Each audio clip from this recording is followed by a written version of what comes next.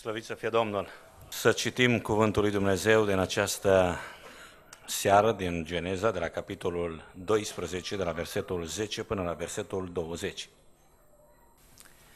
A venit însă o foamete în țară și Avram s-a coborât în Egipt ca să locuiască pentru câteva vreme acolo, căci era mare foamete în țară.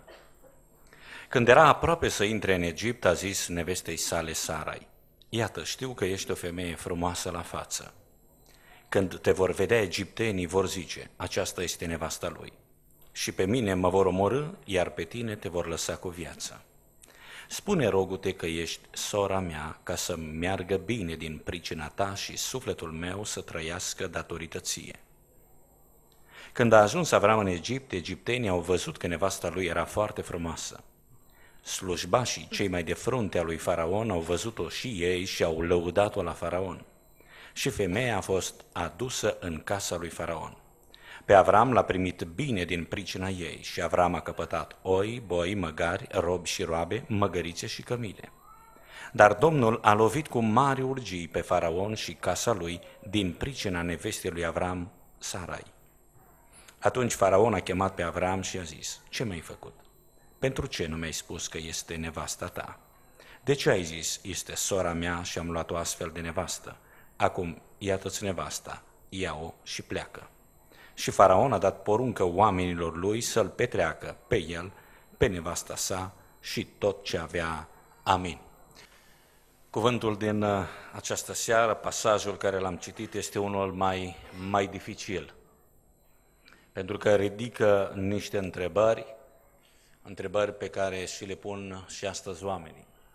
De ce trecem de multe ori prin situații de criză, de ce Dumnezeu ne promite ceva, ne promite chiar foarte mult și imediat după rostirea acelei promisiuni se întâmplă parcă altceva, parcă se întâmplă contrariul, așa cum vedem aici la, la Avram. De ce a trebuit uh, Avram să ieșuieze aici într-un mod uh, lamentabil? Pot sau e posibil, de fapt, e posibil ca și oamenii lui Dumnezeu să ieșuieze, să aibă astfel de căderi? Sunt multe întrebări care ne frământă și în această seară eu aș vrea să ne punem fiecare dintre noi întrebarea aceasta, noi cum ne comportăm în situații de criză. Textul acesta scoate în evidență câteva crize prin, prin care a trecut și Avram. Și îl vedem pe aici că Avram se comportă într-un anumit mod. Și e foarte ciudat modul în care se comportă Avram aici. Este, dacă vreți, o cădere a lui Avram. Și noi în această seară putem învăța să știm cum să ne comportăm în situații de criză. Pentru că aceste crize ne pot afecta. N-aș vrea să plecăm de la premisa greșită de la care pleacă foarte mulți, considerând că totdeauna crizele sunt ceva bun și totdeauna tot răul e spre bine și toate lucrurile lucrează împreună spre bine. Nu pentru toți oamenii. Nu toate crizele la fel lucrează. S-ar putea ca boala pe unul să-l îndrepte, să-l apropie de Dumnezeu, s-ar putea ca pe unii boala să-i îndepărteze mult mai mult de Dumnezeu. S-ar putea criza pe unii să-i apropie de Dumnezeu, s-ar putea pe alții criza să-i depărteze mult mai mult de Dumnezeu. De aceea noi trebuie să ne punem întrebarea în această seară, cum ne comportăm în situații de criză. Pentru că crizele, vrem sau nu vrem, ne afectează. Și ne afectează enorm de mult, mai mult decât ne dăm noi seama. Și iată pe Avram, omul acesta care trece prin criză. Așa cum spuneam, dacă citim uh, doar de la versetul 7 din Geneza, capitolul 12, Scriptura ne arată aici, Domnul s-a arătat lui Avram și a zis, toată țara asta o voi da seminței tale. Și Avram a zidit acolo un altar Domnului care îi se arătase. De acolo a pornit spre munte, la răsărit de Betel și și-a întins cortul, având Betelul la apus și ai la răsărit. A zidit și acolo un altar Domnului și a chemat numele Domnului. Avram și-a urmat drumul înaintând mereu spre mează zi.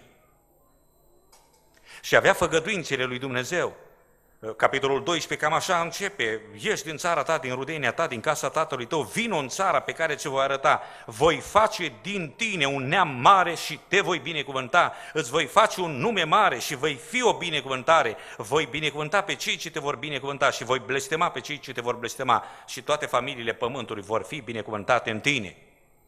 Ce făgăduințe minunate! Le face Dumnezeu făgăduințele astea. Și după ce Dumnezeu face aceste făgăduințe, noi ne-am așteptat. Eu m-am așteptat și eu mă aștept de multe ori. Dumnezeu îți vorbește, spune, te binecuvintează. Și ca unul care cred în, în mesajul profetic, de multe ori mi s-a întâmplat să, să văd aceste lucruri. Dumnezeu să spună, te voi binecuvânta, te voi face o binecuvântare. Și săptămâna asta te concediază. Și tu spui, stai puțin. Ceva nu, ceva nu merge. Ceva nu e în regulă. Cum adică? Te voi binecuvânta, eu te duc în țara asta, vin în țara asta, țara asta e a ta, o țară în care curge lapte și miere, voi face din tine un, un nume mare, voi fi o, vei fi o binecuvântare și dintr-o dată criză. În țara aceea în care l-a chemat Dumnezeu, vine foametea. Și nu o foamete oarecare, trecătoare, pasageră, ci o foamete mare,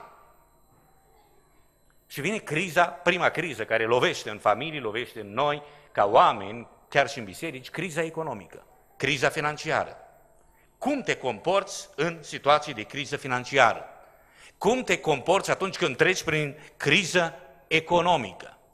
Atunci când vine criza, atunci când vine lipsa, fiecare dintre noi, mai devreme sau mai târziu, vom trece prin asta. Am trecut prin asta. Trecem adeseori ca familii prin crizele acestea. Dar e foarte important să știi cum trebuie să te comporți, pentru că criza economică poate afecta încrederea noastră de plină în promisiunile lui Dumnezeu. Și zilele acestea am întâlnit oameni care au spus, am rămas dezamăgit de Dumnezeu. Parcă are ceva cu mine. Numai nu mă binecuvintează, numai nu ies din lipsă, numai nu ies din criză. Pare că totul e pe dos criza economică îți poate afecta încrederea ta în Dumnezeu, credința ta personală în Dumnezeu, că într-adevăr Dumnezeu are grijă de tine, că El a, El a promis și El ține ce a promis. Și iată pe Avram dintr-o dată, vine în țara aceea, vede uh, criza, poate la început spunea, lasă, eu am avut lucrări, am avut descoperiri, Dumnezeu mi-a vorbit. Și vecinii pleacă, emigrează, pentru că e criză și prietenii emigrează pentru că e criză. Și rudele emigrează pentru că e criză. Și Avram ce face? El această răscrucie, ce să facă? Și atunci alege să-și părăsească încrederea în Dumnezeu. Să spună, probabil m-am înșelat. Poate nu mi-a vorbit Dumnezeu. Și asta, fără să vrei, îți afectează încrederea în Dumnezeu. Asta, fără să vrei, te afectează, îți afectează credința ta. Noi îl numim pe Avram tatăl credinței, tatăl credincioșilor, un om deosebit de credincios, dar asta nu înseamnă că toată viața lui a fost așa. A avut și momente de cădere și acesta a fost un moment de cădere în viața lui. Un moment care poate veni și în viața ta care poate fi pe drumul acesta, mi se pare nou așa de ușor. Și Avram a înaintat mereu spre miază zi, ca și cum ceva frumos, dar deodată criza, deodată lipsa. Și aici Avram cade. Și de obicei crizele se spune că nu vin singure. Nu, nu știu dacă e chiar adevărat. Dar se întâmplă că ele vin una după alta. Un val cheamă alt val. De ce? Pentru că ele sunt lanț. Că în momentul în care ai intrat într-o criză, n-ai știut să o rezolvi, n-ai știut să găsești soluții, n-ai știut să te comporți, asta atrage după sine intrarea într-o altă criză. Dacă n-ai învățat bine limba română, după aia îți dai seama că și la alte materii ai probleme, că nu știi să scrii, nu știi să te exprimi, chiar dacă tu știi geografie, istorie, dacă începi să scrii aiurea, n-ai cum să iei 10. Dacă n-ai învățat bine matematică, degeaba vrei tu fizică. Nu mai ai cum. Pentru că acolo ai nevoie de calcule. De asta, în momentul în care n-ai știut să treci printr-o criză, în următoarea se reportează minusurile. lipsurile tale. Și criza economică afectează încrederea în Dumnezeu și Avram va trece la un alt nivel de criză. De asta e, e foarte important. Eu personal, sau familia, când am trecut prin perioada de criză, mi-am dat seama că trebuie să, și am dat seama că trebuie să facem un lucru, să fim recunoscători, să fim mulțumitori lui Dumnezeu, chiar dacă de multe ori uh, asta este prima atitudine de răzvrătire, de nemulțumire, de lipsă de recunoștință și așa mai departe. Și de multe ori trebuie să le spun oamenilor, aveți mare grijă cum vă purtați, pentru că dacă rămâneți repetenți, nu ești din criză. Te întoarce Dumnezeu iarăși la tabla mulțirii. Până nu înveți, nu mergi mai departe. Tu vrei să ieși din criză, dar vrei fără să înveți. Vrei să treci clasa spunând, asta e, doar repet. Nu, nu repetând anul treci clasa. Repetând materia, învățând și trecând examenul. Doar așa. Și cam asta este cu criza. Când ai trecut examenul, poți să mergi mai departe, altfel nu. Altfel o criză te trage în altă criză. Și iată pe Avram, care cedează în fața crizei economice, care îi afectează încrederea lui personală în Dumnezeu, în promisiunile lui Dumnezeu, în cuvântul lui Dumnezeu. Pentru că nu n-a, n-a fost o, ceva, o părere. Cuvântul Domnului a vorbit. Domnul a vorbit. Și asta în momentul în care tu nu mai crezi în momentul în care faci altceva, te afectează. Dacă Dumnezeu îți spune, te voi vindeca, și tu spui, o fi, dar, știi, până una alta, eu am alte mijloace. Te voi binecuvânta, dar până una alta încerc și eu să văd. A mai căzut Avram la capitolul acesta și nu-i cazul să insistăm în această seară, chiar și în privința copilului. A promis Dumnezeu, știu, dar asta e. Încercăm alte metode încercăm alte drumuri. Și asta îți afectează credința. Și asta face să întârzie. Și eu nu cred că întâmplător Avram a ajuns la o anumită vârstă, fără să aibă copii, fără să vadă promisiunile împlinite, pentru că au fost niște examene la care n-a trecut și n-a trecut și până când a trecut prin școala asta, până când a trebuit să capituleze. Dar iată-l căzând la acest examen al crizei economice, care poate să afecteze încrederea personală în Dumnezeu. Aș vrea în această seară și eu mă rog ca Dumnezeu să binecuvânteze pe toți acei care trec prin crize financiare sau economice. Nu vă părăsiți încrederea în Dumnezeu. El a promis, El așa a spus, El a promis, nu te voi părăsi, voi fi cu tine. Cu niciun chip n-am să te las, cu niciun chip nu te voi părăsi. El a promis că poartă de grijă păsărilor. El poartă de grijă câinilor de pe câmp. El ține totul în mâna sa, oare nu poate să țină cont și de tine? Nu poate să poarte poverile tale? Nu poate, nu poate să-ți poarte grija ta și a nevoilor tale și ale familiei tale? Dumnezeul nostru poate, slăvit să fie numele Lui. Dar haideți când trecem prin crize, când trecem prin examen, să nu ne pierdem încrederea. Deși pare greu când vezi că nu mai gata, nu mai, s-au terminat resursele. S-a uitat spre cer, nu mai plouă, s-a uitat spre pământ, nu-și mai dă rodul, s-a uitat spre hambar, e gol, s-a uitat spre cămară, sunt goale toate. Ce mai pot face? Nimic. Și atunci a spus, plec. Și în momentul în care a ieșuat în criza economică, iată următoarea criză, următoare, verifi, uh, următoare verigă prinsă de criza economică. Criza siguranței, criza protecției. Orice om are nevoie de o siguranță. Orice om are nevoie de o protecție. În momentul în care te duci în Egipt, ai nevoie de siguranță, ai nevoie de protecție. În acel moment el își dă seama, mă duc acolo, nu cunosc pe nimeni, oamenii nu mă cunosc, mă vor omorâ, se va uh, distruge familia mea, se va întâmpla ceva și atunci uh, eu trec prin criza asta a nesiguranței. Și aici Avram iarăși cade, pentru că această criză a siguranței afectează relațiile noastre. Îi afectează în mod profund relația cu Sara. Vă dați seama, ea ca soție, cum s-a simțit atunci când Avram îi adresează această frumoasă poezie de dragoste. Spune că e sora mea, nu mai e soția mea, asta e, și o să vă explic și altceva aici. Uh, și astfel eu voi scăpa cu viață, ne va merge bine și eu voi trăi datorită ție. nu spune că ești nevasta mea, spune că ești sora mea. În antichitate, în cultura de atunci, antică, o femeie era la fel cum este un copil astăzi.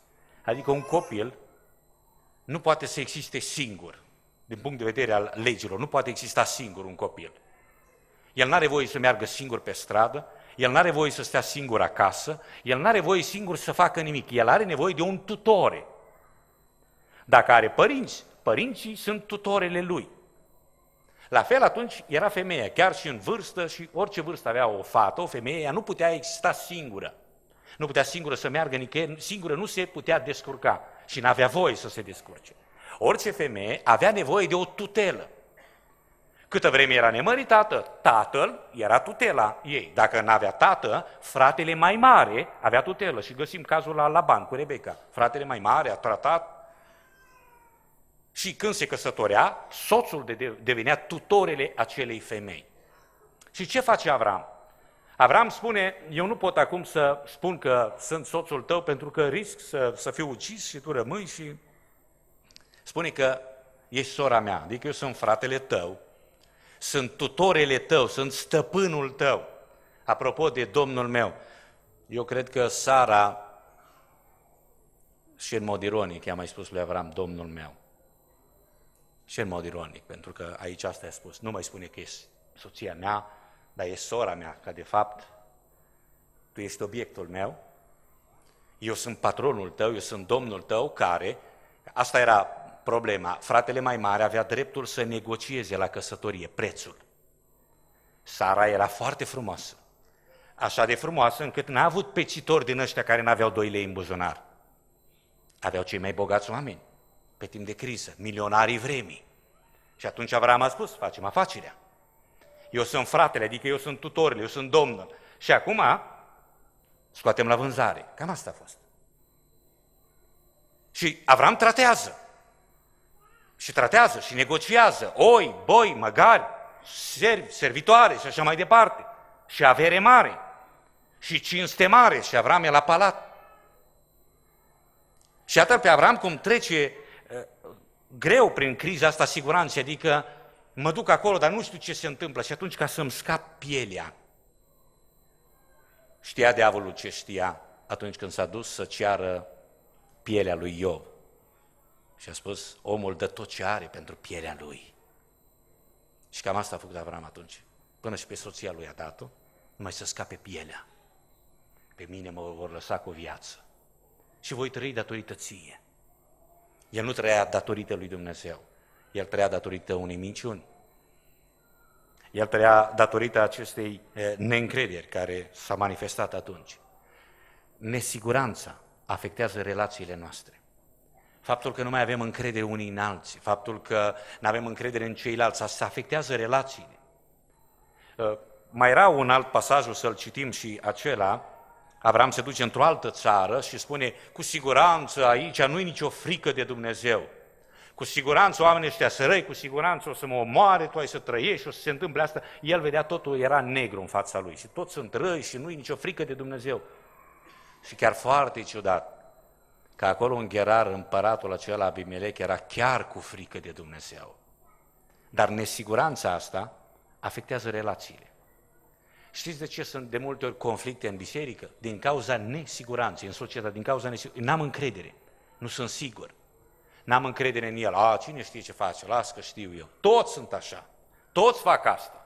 Fetele zic, toți băieții fac așa. Băieții zic, toate fetele fac așa. Las că toți fac așa.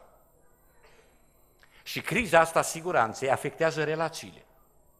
Și iată pe Avram cum își strică relațiile și cu soția, dar și cu faraon și cu cei din jur, că încet, încet i-au pus escortă și au spus, cară-te, nu avem nevoie de tine, nu vrem relații cu tine, nu prezinți încredere. E cam rușinos asta. De asta subiectul acesta este cam evitat, pentru că ne pune în dificultate. Este destul de controversat. Cum Avram, omul cu promisiunea lui Dumnezeu, cade aici. E adevărat că noi încercăm să-l scuzăm și se poate, are pe undeva o scuză. Dar criza asta siguranței care afectează relațiile aduce o a treia verigă, o altă criză prin care omul trece, că în momentul în care trece prin nesiguranță, încearcă să-și rezolve problema. Cum și-o rezolvă? Cu minciuna. E adevărat, jumătate de adevăr sau jumătate de minciună, depinde cum vrem. Este sora mea, depinde ce a vrut el. Adevărul nu stă în cuvinte. Este sora mea. Da, e adevărat, este sora mea. Adevărul este ceea ce înțelege celălalt. Că faraon n-a înțeles că sora mea, el, n-a... el a spus, a, e sora ta, înseamnă că tu ai dreptul de proprietate asupra ei, înseamnă că e, dacă ea trebuie să se căsătorească, eu trebuie să tratez cu tine, înseamnă că este nemăritată și înseamnă că eu cu tine pot să discut afacerea. Și facem nunta. Și s-au făcut pregătiri de nuntă. Și a luat-o din nevastă, a, luat, a luat-o în haremul lui, a luat-o în casa lui. Unii încearcă să-l scuze aici pe Avram, da, și adevărat că era adevărat, spune Scriptura, că era sora lui, că era o soră vitregă, având doar un părinte comun și nu, nu pe ambii. Dar iată, criza morală afectează caracterul nostru. Pentru că Avram nu doar aici face asta. O să citim alt pasaj și mai încolo, Avram mai repetă istoria asta. Adică n-a fost o cădere, am învățat din ea, gata, m-am pocăit, nu se mai întâmplă. Devine un mod de viață asta. Asta îi afectează caracterul. Asta îl caracterizează. O să citim bine versetul ca să ne dăm seama, nu acum, poate mai, mai târziu, dar e important asta. Criza economică îți afectează încrederea în Dumnezeu. Și aici, când ai slăbit, vine criza siguranței, adică eu nu mai sunt sigur. Mi-a vorbit Dumnezeu, nu mă va păzi Dumnezeu, va fi Dumnezeu cu mine, mă va ajuta Dumnezeu, voi trăi. Nu mai, eu nu mai trăiesc datorită lui Dumnezeu, eu trăiesc datorită minciunii mele, datorită abilității mele, șmecheriilor mele, datorită sarii și așa mai departe. Și asta îți afectează. Îți afectează relațiile. Și apoi vine criza morală. Atunci când vorbești despre adevăr sau minciună. Atunci când vorbești de dreptate și nedreptate. Și Avram, la capitolul criză morală, cade. Este biruit. Și acum intervine o altă criză. Că în momentul în care vine criza morală, niciun om nu vine cu păcatul lui și spune eu sunt mincinos, eu sunt așa, eu sunt așa, eu sunt așa. Nu, niciunul nu vrea să, să-i se afișeze păcatele, gândurile, uh, imaginațiile și așa mai departe. Și atunci, ca să ascunzi păcatele, ca să ascunzi căderile morale, ca să ascunzi abaterile tale, căderile în crizele anterioare, trebuie să faci ceva. Să schimbi identitatea, să te dai drept altul, să pozezi în altceva, să pui altă poză, să spui altceva despre tine. Și trece Avram și prin criza identității. Cine ești? Păi trec aici, nu sunt sigur, oamenii ăștia mă vor omorâ, ne vor omorâ, hai să ne schimbăm identitatea. Eu nu mai sunt Avram, soțul Sarii. Eu sunt Avram, fratele Sarei, patronul ei, cel care am dreptul asupra ei să o mărit, să câștig bani și așa mai departe. Și merge afacerea. Și vom ieși din criză. Și criza asta a identității este una profundă, mai ales în generația noastră, tinerii, adolescenții mai ales. Nu le place cum arată. Nu le place cine sunt. Și atunci vor să schimbe ceva fac alte poze, folosesc tot felul de cosmetice, ceva să se schimbe în identitate, pentru că trec prin această criză profundă a identității. Nu-mi place ceea ce sunt. Nu-mi place cine sunt. Nu-mi place cum arat. Nu-mi place. Și atunci vreau să fiu altceva și vreau să schimb. Și nu vrea să fac o schimbare în bine, ci se gândește la o schimbare prin minciună. Și astăzi mai ales criza asta de identitate se vede din ce în ce mai mult prin mijloacele de, de informare acum. Fiecare își pune pozele care li se par mai bune, scriu tot felul de, când e vorba de meserii, se pare că cine știe ce facultăți au absolvit. Nu de mult am fost la București și m-am întâlnit cu un parlamentar și el mi-a spus, vezi că vine directorul de, tra- de la transporturi să te ia, să fii gata la ora de... Oh, directorul de la transporturi, mă gândeam, cine știe. Acolo, vine o mașină cu șoferul și am înțeles cine era directorul de la transporturi. Na, nu puteai să-i spui, vine șoferul meu, că părea așa, știi, mai bine. directorul de la transporturi. Și așa mulți își pun și ei etichetele pe tot felul de site-uri. Directorul de la transporturi. Șeful, pre- prezidente de el. Da, normal, și-a zis o firmă, sunt doi angajați și el este președintele asociației sau. Dacă ai spus președinte, deja te duce mintea, cine știe unde. Cam asta face și Avram acolo, când se duce, tratează cea mai, cea mai frumoasă femeie din ținutul acela, din zona aceea, Miss. Și așa mai departe. Și el acum este managerul ei. Adică cel care se ocupă de, de, de afacerea asta și va câștiga. Și trece prin criza asta a identității. Se dă drept altul. Aduce pe profilul său o altă imagine, o altă fotografie, alte informații. Ceva, ceva, da, adevărat, dar ceva din trecut, e adevărat, e sora mea, de... dar nu, el nu spune realitate, pune o poză de 20 de ani în urmă. E realitate, el e, dar nu spune că e cu 20 de ani în urmă. Și iată următoarea criză prin care, prin care treci, dar criza asta a identității poate să afecteze mărturia noastră în fața lumii. Și așa de, de, de urât, parcă, nu știu, rușinea asta care o trage atunci Avram, să vină un nepocăit, să vină unul care nu-L cunoaște pe Dumnezeu, unul despre care Avram a spus, ăștia n-au nicio frică de Dumnezeu, să vină omul acela și să spună, du-te de aici. Mă gândesc la Avram, promisiunea lui Dumnezeu era, vei fi o binecuvântare. Ce a ajuns Avram pentru, pentru Egipt? A fost o binecuvântare? A lovit Dumnezeu din pricina lui, din pricina crizelor lui prin care a trecut și în care n-a fost atent, a ajuns să fie un blestem.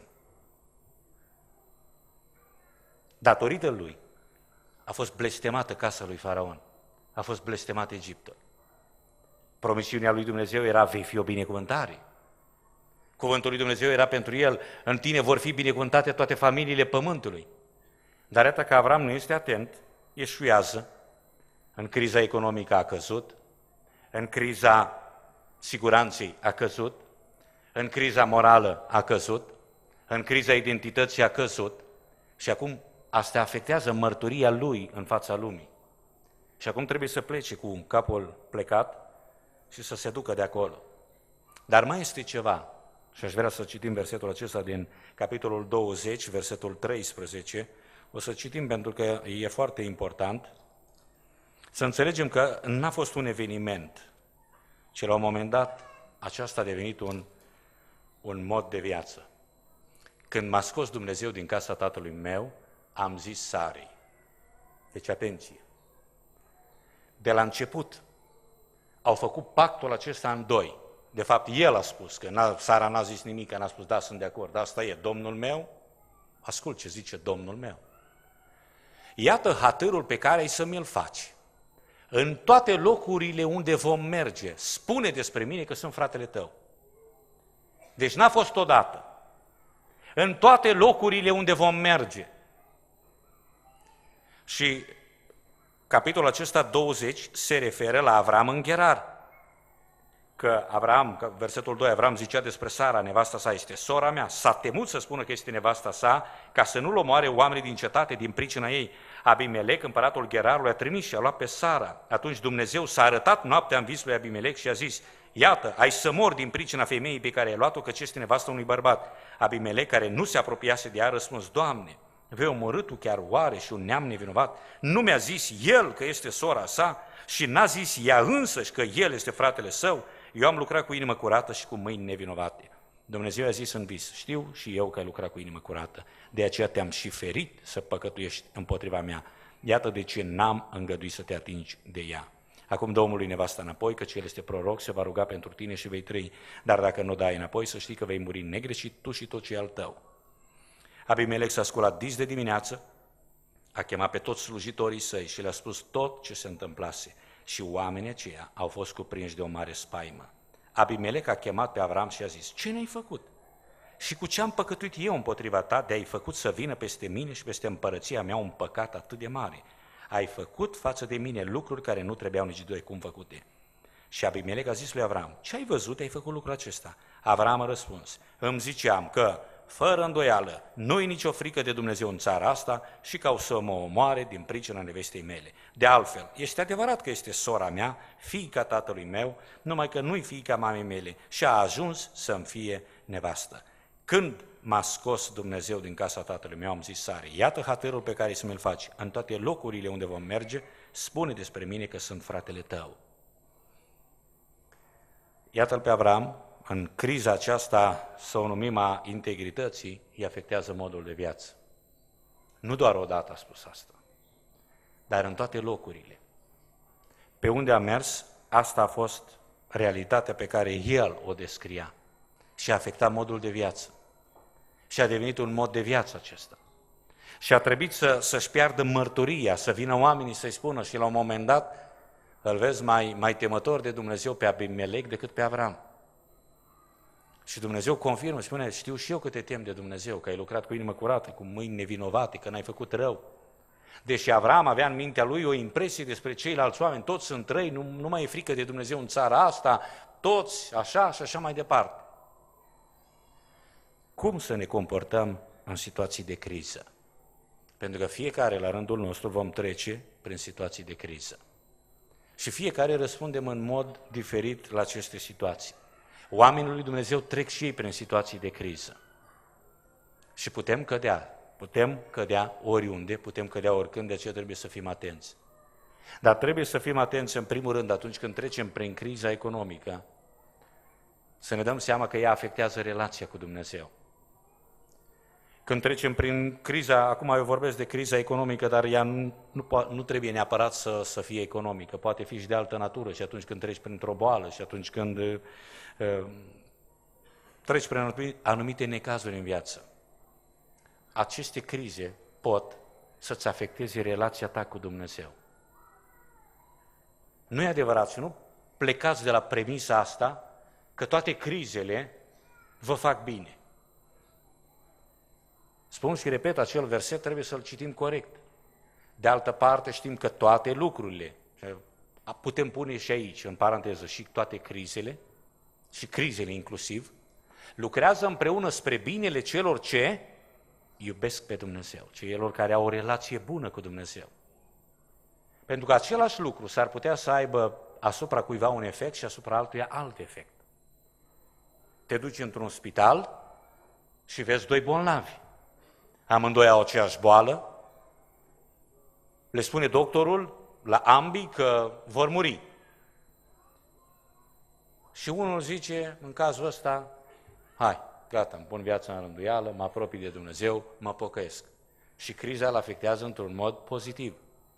Altul începe să blestime, să înjure, să spună ce Dumnezeu, de unde și cum, dar își bate joc de mine și de asta și de asta. Și te uiți același lucru, dar cu efecte diferite. Pentru că asta țin de noi, cum răspundem, cum ne comportăm noi în situații de criză. Au trecut și alții prin situații de criză, dar au răspuns altfel. Avram aici a căzut. Și asta ne spune că dacă a căzut Avram, putem cădea și noi. Nu că trebuie să cădem și noi, dar putem cădea și noi. De aceea trebuie să fim atenți atunci când trecem prin criză. Să fim foarte atenți. Să fim foarte atenți la modul în care percepem criza, la modul în care gândim, la modul în care vorbim. Unii vorbesc prea ușuratic.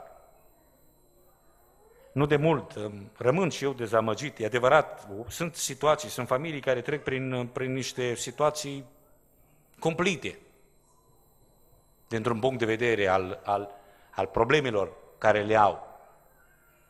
Dar am auzit nu de mult pe cineva spunând, uite, Dumnezeu a vorbit, a spus asta, asta, acum pare că situația e invers, să văd de unde se împlinește și toată așa, așa cu aer de răzvrătire.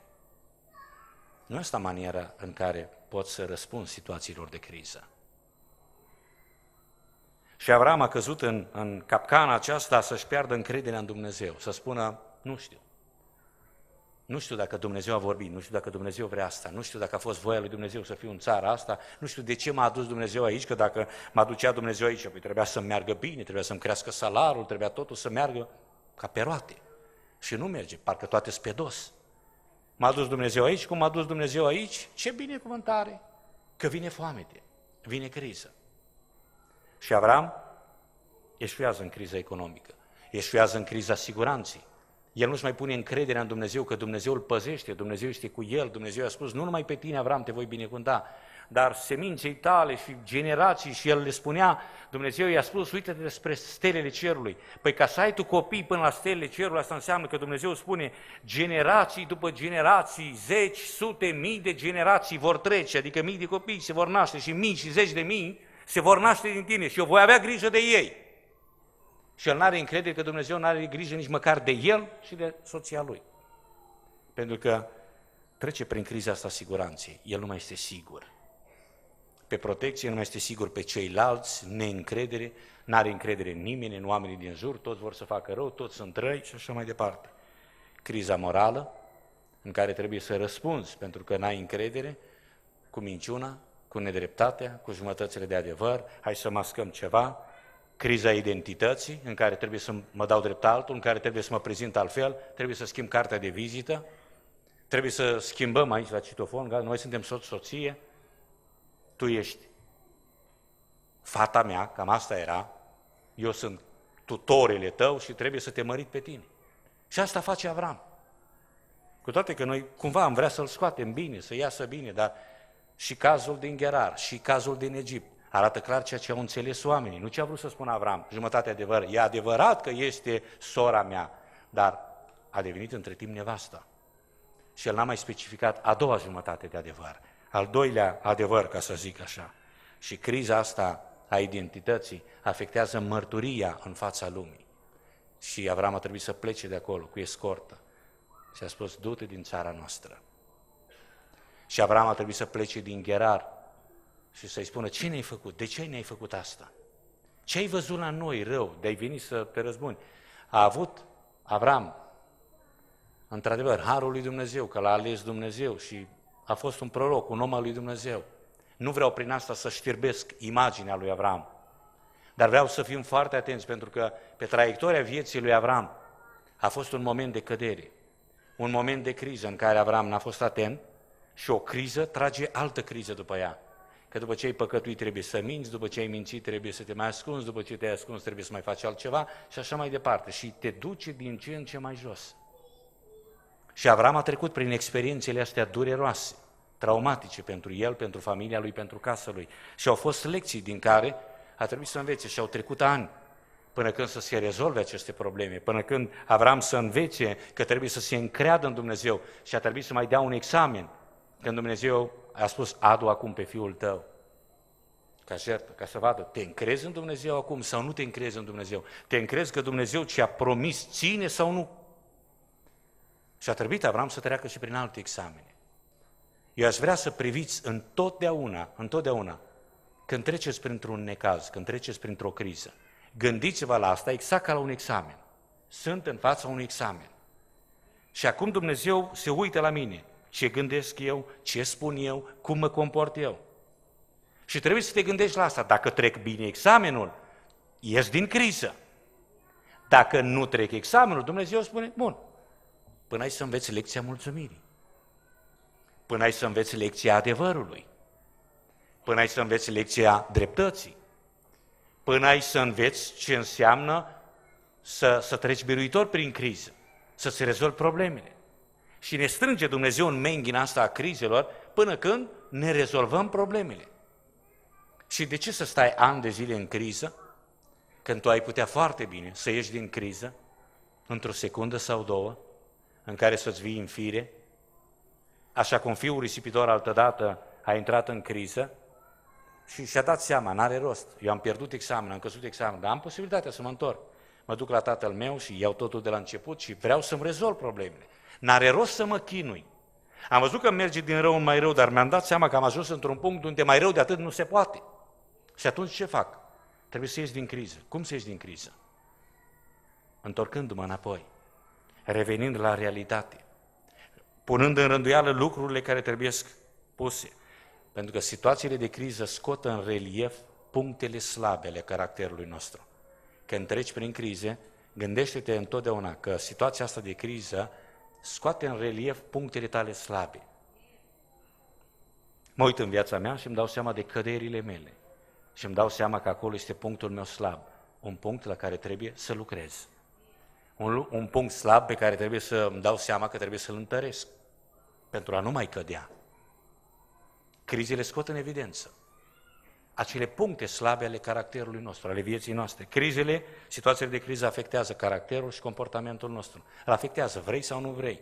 Încet, încet, ți se pare că e ceva normal, dar îți dai seama cum ceva simplu, la început, se transformă în ceva care, dacă s-ar fi gândit Avram de la o foamete, de la o foamete, adică lipsă de mâncare și de apă, unde a ajuns? Unde a ajuns el? Își dau seama cei care ajung pe închisori unde au ajuns, de la un lucru mic, apoi un lucru mai mare și apoi altul mai mare și toate se țin lanț. Și când oamenii se uită unde au ajuns, spun, nu s-a meritat pentru un lucru atât de mic, nu s-a meritat pentru asta să pierd atât. Situațiile de criză afectează și relațiile noastre, relația cu Dumnezeu și relația cu semenii.